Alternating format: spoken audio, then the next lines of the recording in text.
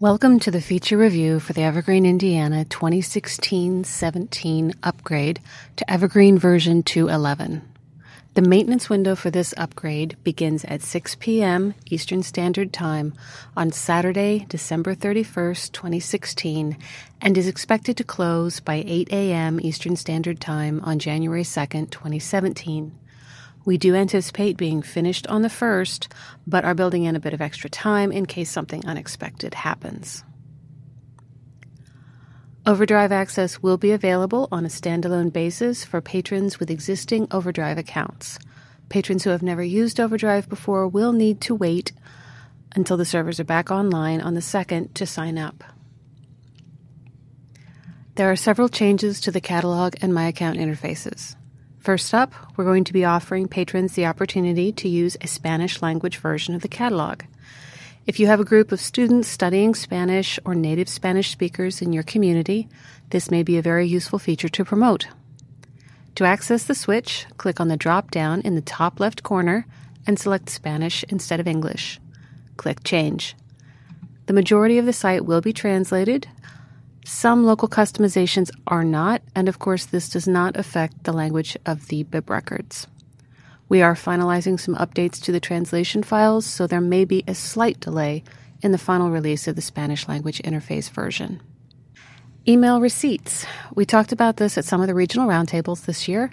Patrons will be able to opt to receive emailed receipts going forward, either in addition to or in place of physical receipts.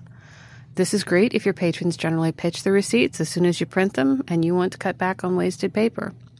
This only affects receipts for new circulations at library desks and some self checks. Email receipts will not be generated for renewals or bill payments. To turn it on, a patron may go to their My Account interface and select Account Preferences. From there, they click Notification Preferences, and it is the final option on the page a quick click in the box, and then on Save, and the emails will begin. Inside the staff client, staff may enable this setting either on registration or by editing the patron record. The Email Checkout Receipts by Default option is available in the User Settings section, which is where the patron hold settings are also located. Again, check the box and save to complete the setup please be sure to confirm the patron's email address as correct when enabling this feature. This is a sample receipt. It is currently very basic by default, and we do anticipate adding a bit of customization to this in the new year. Patrons will now be able to edit their circulation histories. Beginning in Evergreen 2.9, patrons have been able to turn on and retain a private circulation history, which is unaffected by the anonymization that we use in the staff client. It may be turned on and off in their My Account account preference settings. Please note this is not a retrospective tool. Additionally, a full circulation history isn't always as helpful as one that has been edited. As an example, if you have a patron who's a dedicated series reader but perhaps wasn't able to read a title in a series that he or she borrowed, that patron may now remove that title from their circulation history so that they are aware that they need to borrow it again. For our demonstration today, and in honor of the state bicentennial, I've created an account for Jonathan Jennings, first governor of Indiana. In this example, our patron has borrowed several books on the history of Indiana and one title on Tennessee history. Because the goal is to have a reading history on Indiana, I'm going to remove the title on Tennessee. To do so, I simply click in the box next to title and then go above. Please note that while there is a drop down to define the action taken, there is currently only one option to select. Once I've pressed go, the system requests a confirmation of the action, and then the list is updated. There will be some updates to the My Account Holds interface as well. In 2.9, we have 10 columns in the Holds interface. In 2.11, this has been streamlined down to 8. The status column also includes a rough estimate of the patron's position in the holds queue for a given title. As ever, there are more than a dozen factors which influence how holds are targeted, so there may still be questions about when a specific patron's hold will be filled. In the catalog, there are some changes to how searches may be returned. In my example today, I've searched for Harlan Coben's Fool Me Once, with the home library of the Indiana State Library. The only result returned is for an ebook. Mr. Jennings, however, wishes to borrow a physical copy, so I need to expand my search to the entire consortium. To do that, I could rerun the history using the library dropdown, or I can use this new feature and simply click in the box. This immediately reruns the search while leaving my original search above untouched. Now I can see all five records for this title in the system. As stated before, however, we're only looking for physical materials, and the lead result is for an ebook. To eliminate that result, I can click on the box next to Exclude Electronic Resources, and now I'm left with just the physical holdings that are available across the consortium. The add on filters currently must be chosen independently for each search. We have recorded a wishlist development item to have them become settings that patrons may choose as defaults in future. There is a new search order popularity. Popularity will initially be based on the number of holds over five years for a bibliographic record, but we will be reconfiguring that slightly in the new year to be more accurate about currently popular materials. Here's a sample search result from 2.9. It is a simple keyword search for Harry Potter. One of the most popular titles this fall has been Harry Potter and the Cursed Child. But with the current sort order, that title is nowhere in evidence. Instead, we have a variety of single holding records. Obviously, our patrons would be more interested in high volume records and newer materials. In 211, in the Sort By dropdown, you can see the new popularity order options.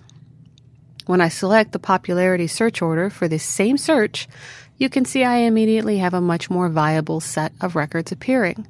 There are dozens of copies on each record, and Harry Potter and the Cursed Child appears on page one of the results.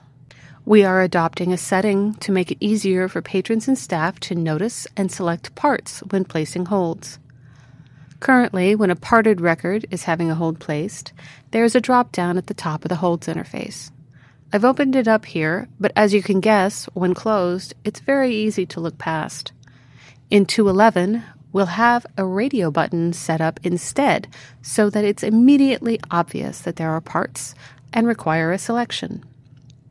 This will entail some patron education so that patrons are aware of how your local adoption of parts cataloging will affect their requests. At this point, only one radio button may be selected at a time. In the staff client, we will see a new item status, canceled transit. This has been a wish list item for our consortium for a couple of years now.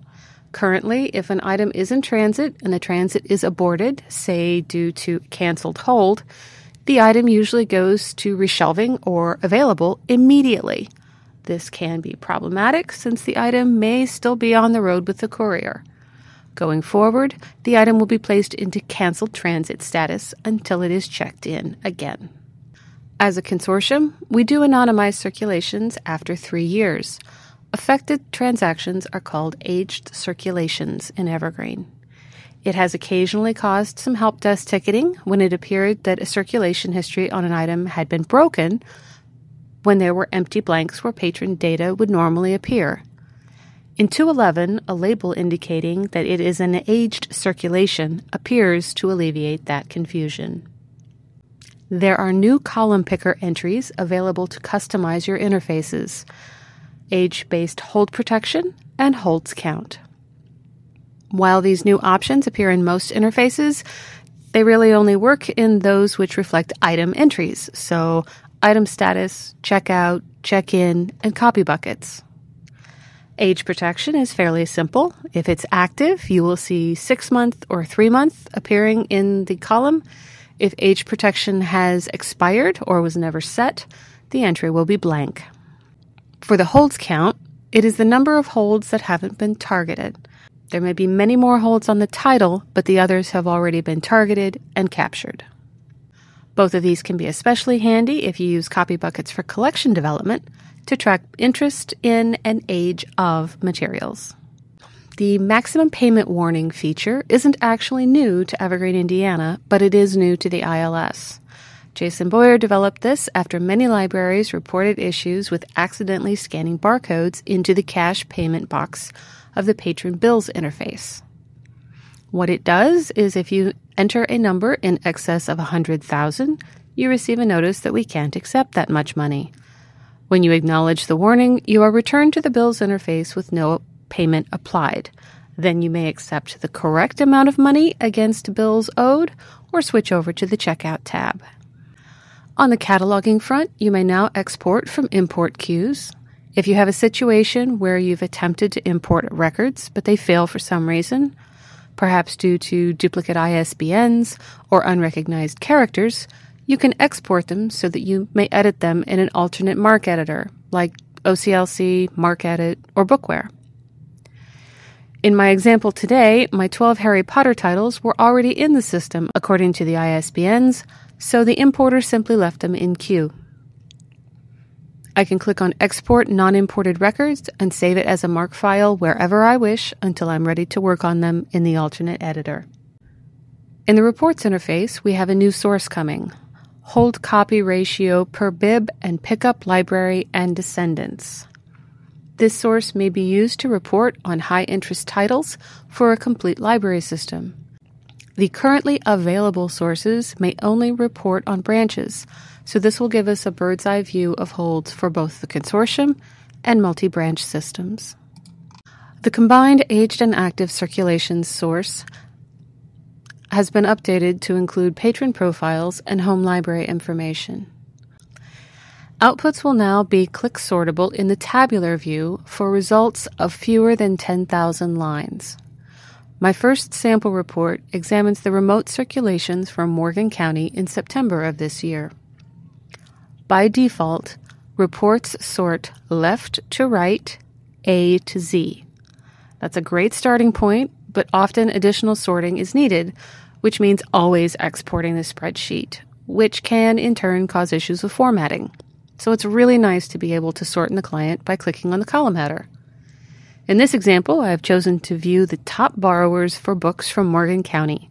You can see the Hussey Mayfield, Plainfield, and Greenwood are the top three recipients for September of this year.